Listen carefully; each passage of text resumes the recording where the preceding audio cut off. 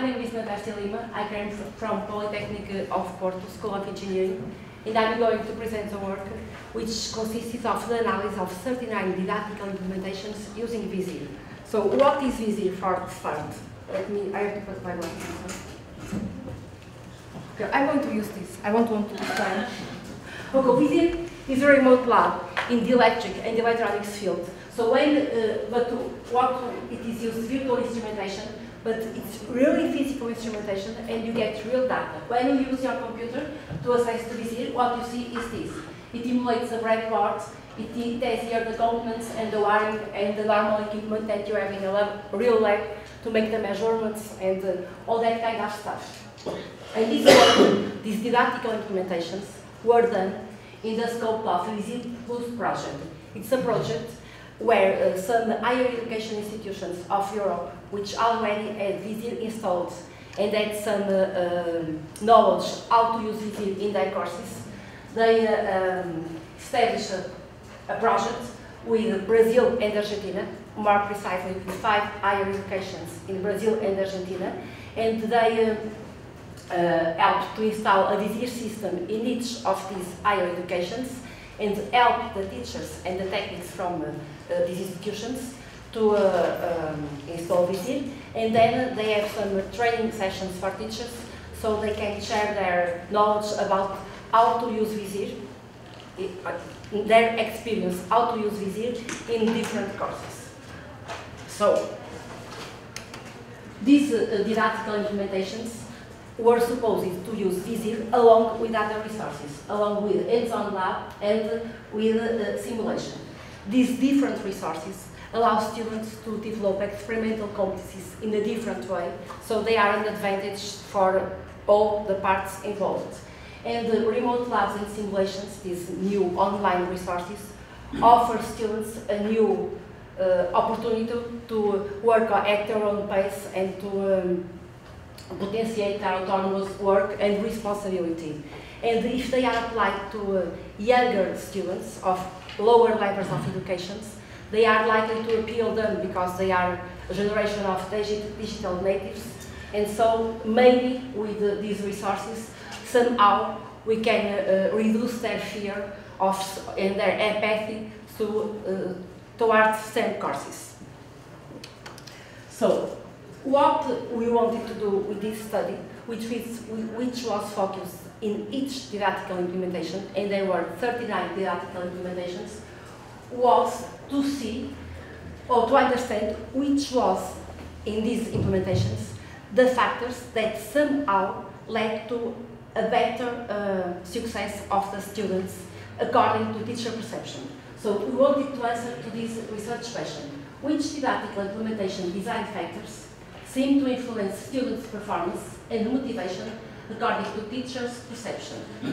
so this is a multi-case uh, study research there were 39 didactic implementations, like I have said, in 25 different courses uh, in two countries, Brazil and Argentina, not only in higher education, but also in high school and technological uh, school, although in a very uh, less extent. And it involved 25 different teachers and 1,563 students. The data that we have analyzed is detailed information about Visir implementation in each course, the number of accesses of Visir from teachers, okay, teachers have to access to Visir to implement experiments and to help students, the answers of students to a satisfaction questionnaire that it was uh, passed in the end of the implementation, and some teacher interviews and informal comments.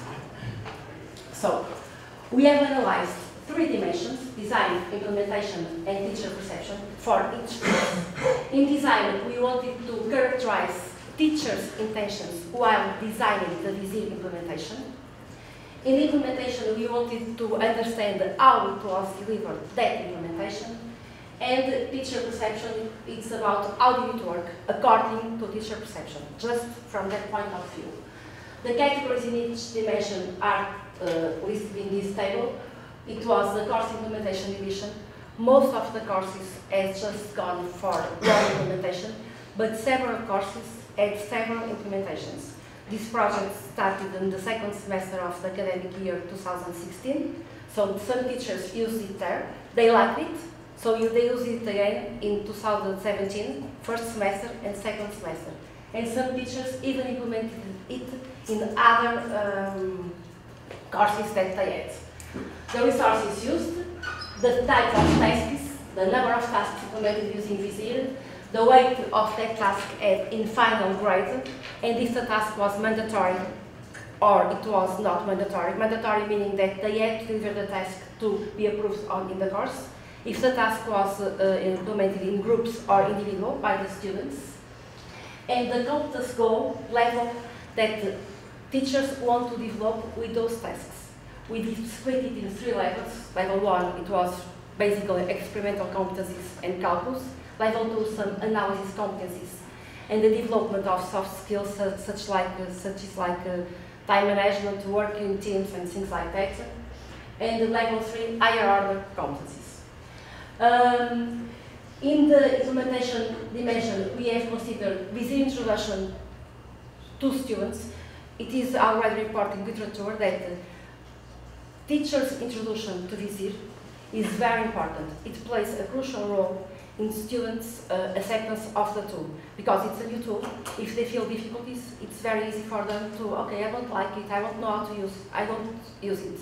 But if there is a good introduction and teacher is there to support in, in their first uh, tasks and uh, solving the problems and difficulties, they like it and they get engaged.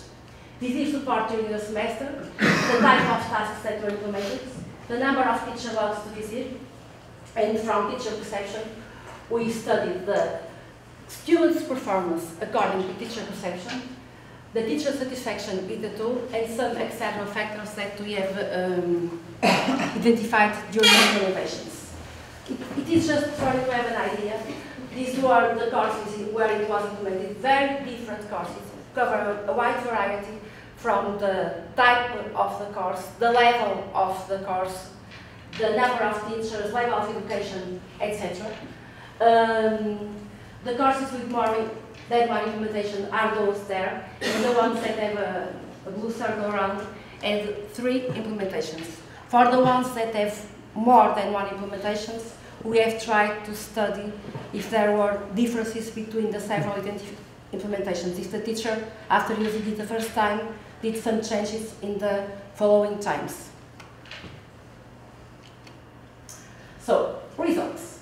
It was supposed as uh, much as possible that teachers use not only Visir but also simulation and hands-on lab.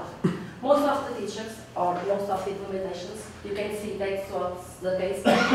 In some other cases, here and here, you can see that teachers use Visir along with simulation or along with remote uh, real lab, not the three at a time. And in a very uh, lower percentage, Visir was the only resource that was used. So it was the only way that students had to experiment, do some experiment with real equipment and get real data. The number of tasks varied from one to four. Some teachers implement one task, two, three, four.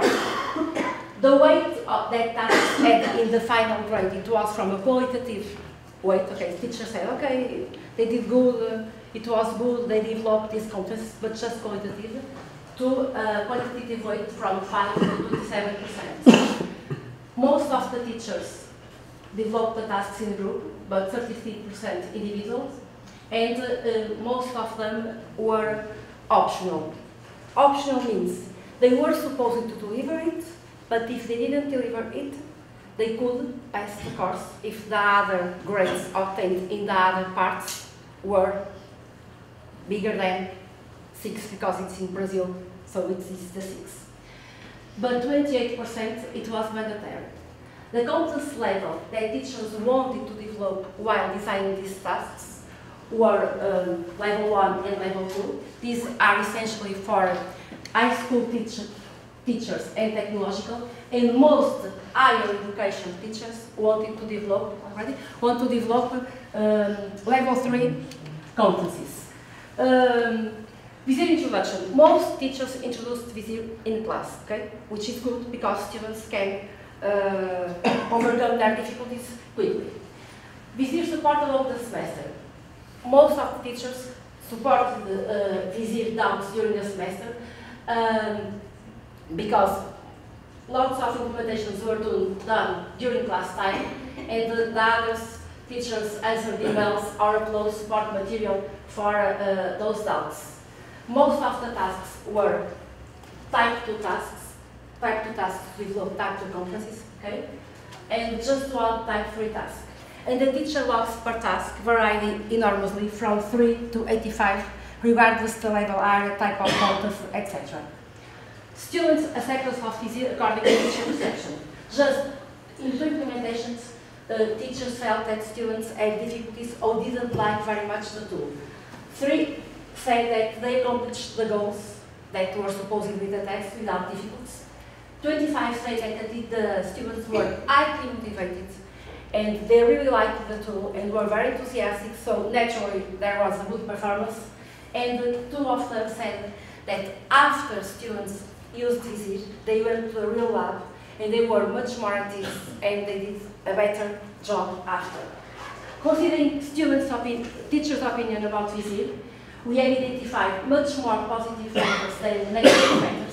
The most mentioned positive factors are that it increases students' practice and it decreases students' motivation, and as negative, it is especially configuration issues and um, some instability of the system.